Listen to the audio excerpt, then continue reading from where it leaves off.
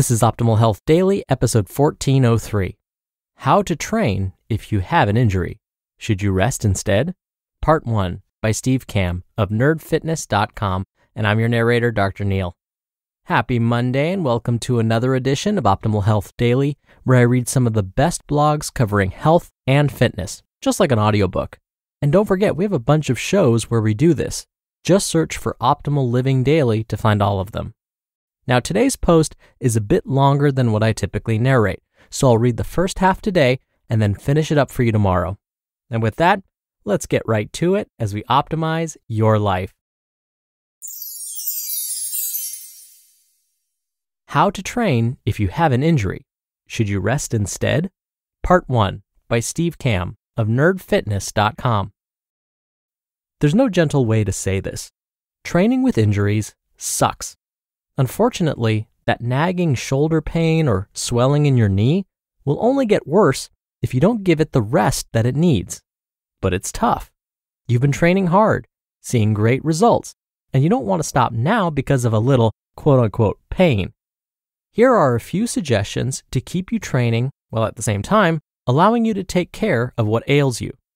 Now, it should go without saying, the best way to handle an injury is to prevent it in the first place by always starting out with a dynamic warm up. But that doesn't put the toothpaste back in the tube now, does it?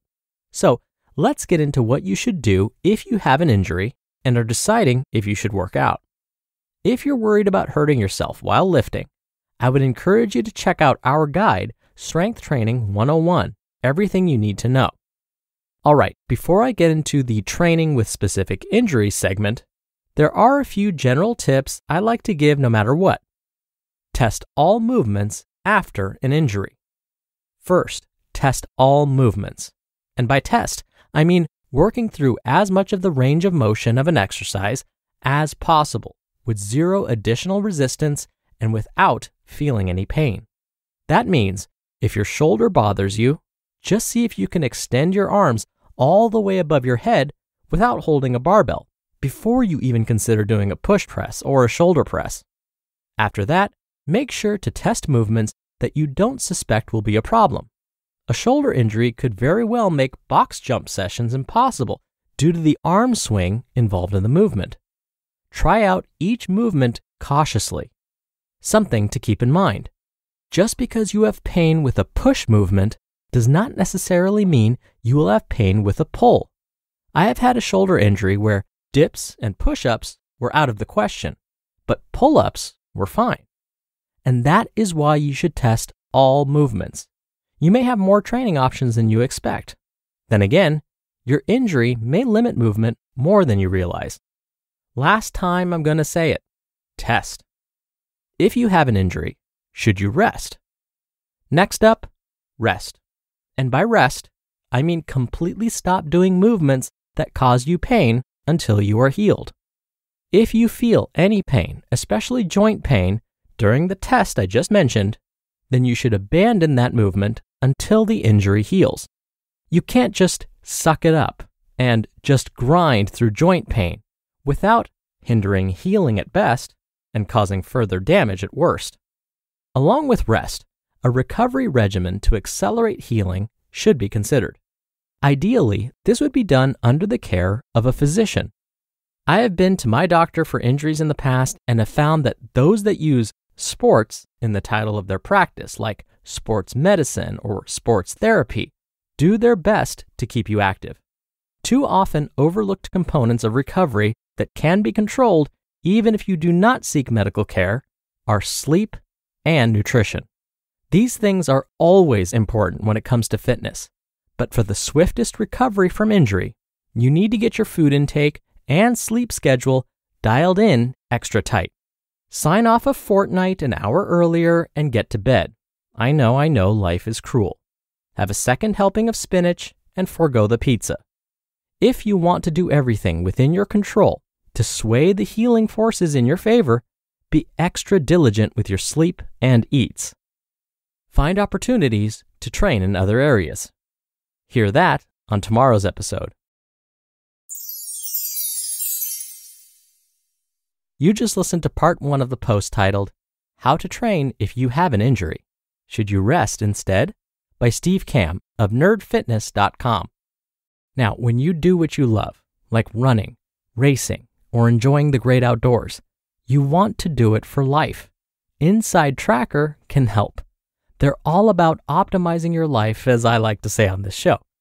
Inside Tracker was founded in 2009 by leading scientists in aging, genetics, and biometrics from MIT, Tufts, and Harvard.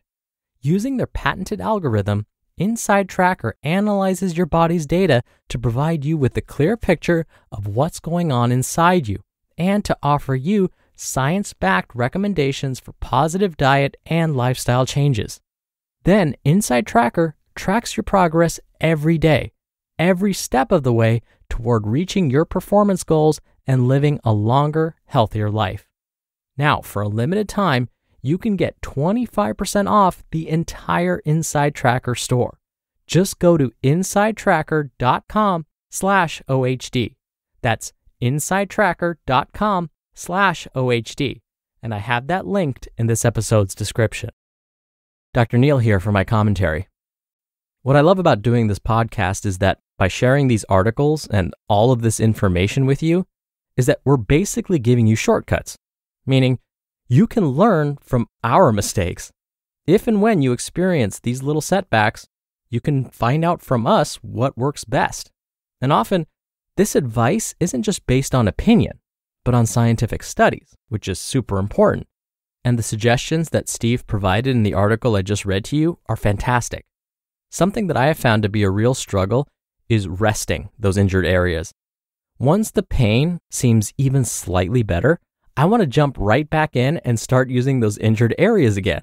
So when Steve mentioned the importance of rest, he's absolutely right. And one thing I'll add is that after talking to a healthcare provider, consider, along with rest, using ice or heat to help with recovery. Now, your healthcare provider will probably have a specific regimen that they'll recommend, but a good starting point is applying 15 minutes of a cold compress to the injured area multiple times a day. That's often helpful to reduce inflammation. And again, from there, your healthcare provider will probably provide more specific information.